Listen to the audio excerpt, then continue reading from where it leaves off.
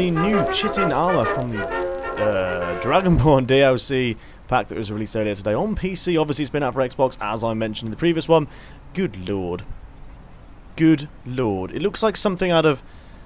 I don't even know what this thing looks like. It looks like it should be, it belongs in the ocean, and it has stupid little beady eyes, like, hello, hello, nice to see you. So this is the Chitin armor, guys. This is what it looks like. Once again, textures are terrible. Being so used to the old uh, HD retextures which have been around, for example, off of aMidianBorn, and just, just the general HD retextures. I'm looking forward to when someone actually makes these over in HD. It's going to look pretty freaking awesome. So there it is.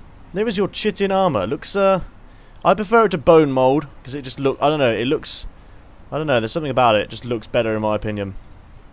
But uh, there you go. There is Chitin armor, chaps. Two little random videos for you. Probably gonna upload these both at the same time. So get over it. Get over it, freaky beady eye man. Oh Jesus, it's terrifying. Don't you dare look at me. Don't look at me. Please don't look this direction. Oh Jesus. Oh God.